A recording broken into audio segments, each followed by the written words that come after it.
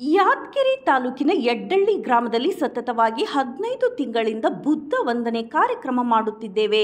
ಎಂದಿನಂತೆ ಈ ಭಾನುವಾರವೂ ಕೂಡ ಬುದ್ಧ ವಂದನೆ ಕಾರ್ಯಕ್ರಮ ಮಾಡಲಾಯಿತು. ಇವತ್ತಿನ ಕಾರ್ಯಕ್ರಮದಲ್ಲಿ ಭಾಗವಹಿಸಿದ ಆಯುಷ್ಮಾನ್ ವೀರಭದ್ರಪ್ಪ ಬಂದಳ್ಳಿಕರ್ ಅವರು ಅಂಬೇಡ್ಕರ್ ಗ್ರಂಥಾಲಯಕ್ಕೆ ಅಂಬೇಡ್ಕರ್ ರವರ ಸಮಗ್ರ ಬರಹಗಳು ಮತ್ತು ಭಾಷಣಗಳು ಹಾಗೂ ಎದೆಗೆ ಬಿದ್ದ ಅಕ್ಷರ, ಇನ್ನೂ ಅನೇಕ ಕನಿಷ್ಠ ಐವತ್ತಕ್ಕೂ ಹೆಚ್ಚು ಪುಸ್ತಕಗಳನ್ನು ಸ್ವ ಇಚ್ಛೆಯಿಂದ ದೇಣಿಗೆಯನ್ನ ನೀಡಿದ್ದಾರೆ. ಇವರಿಗೆ ಭಗವಾನ್ ಗೌತಮ ಬುದ್ಧರು ಇನ್ನಷ್ಟು ಆಯುಷ್ಯ ಮತ್ತು ಆರೋಗ್ಯವನ್ನು ಕೊಟ್ಟು ಕರುಣಿಸಲಿ. ಸಮಾಜಮುಖಿ ಕಾರ್ಯಗಳನ್ನು ಮಾಡುವ ಶಕ್ತಿ ನೀಡಲಿ ಎಂದು ಈ ಮಾಧ್ಯಮದ ಮೂಲಕ ಧನ್ಯವಾದಗಳನ್ನು ತಿಳಿಸಲಾಯಿತು.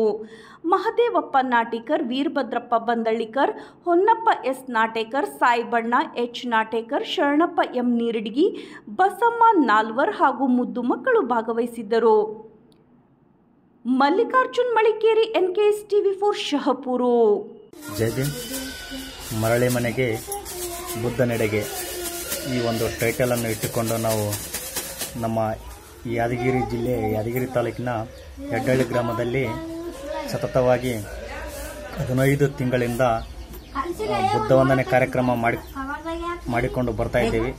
ಈ ಒಂದು ಬುದ್ಧ ವಂದನೆ ಕಾರ್ಯಕ್ರಮದಲ್ಲಿ ಇಂದಿನ ಈ ಸುದಿನದಂದು ನಮ್ಮ ಹೆಡ್ಡಳ್ಳಿ ಗ್ರಾಮದ ಸಮಾಜದ ಹಿರಿಯರಾಗಿರ್ತಕ್ಕಂಥ ವೀರ್, ಆಯುಷ್ಮಾನ್ ವೀರಭದ್ರಪ್ಪ ಬಂದಳ್ಕರ್ ಅವರು ತಮ್ಮ ಸ್ವ ಇಚ್ಛೆಯಿಂದ ನಮ್ಮ ಬುದ್ಧ ವಂದನೆ ಸಮಿತಿಗೆ ಅಂಬೇಡ್ಕರ್ ಅವರ ಭಾಷಣಗಳು ಮತ್ತು ಬರಹಗಳು ಹಾಗೂ ಎದೆಗೆ ಬಿದ್ದ ಅಕ್ಷರ, ಇನ್ನಿತರ ಅನೇಕ ಪುಸ್ತಕಗಳನ್ನು ಅವರು ನಮ್ಮ ಈ ಸಮಿತಿಗೆ ಒಂದು ದೇಣಿಗೆ ನೀಡಿದ್ದಾರೆ.